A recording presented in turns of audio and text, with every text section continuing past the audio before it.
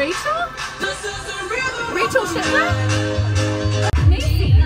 Macy Kretzer. Doesn't ring a bell. I used to do your math homework in high school.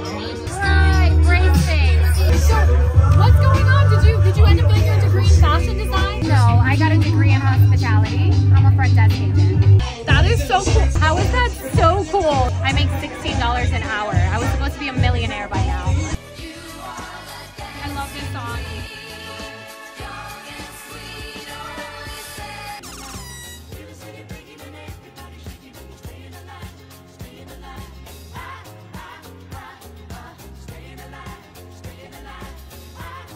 You are so weird. Definitely have not changed since high school. Wow. It's been a pleasure talking to you, but I'm gonna make my way downstairs and go talk to um, James.